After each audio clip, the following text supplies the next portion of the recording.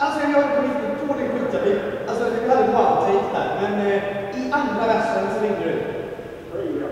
Älskling.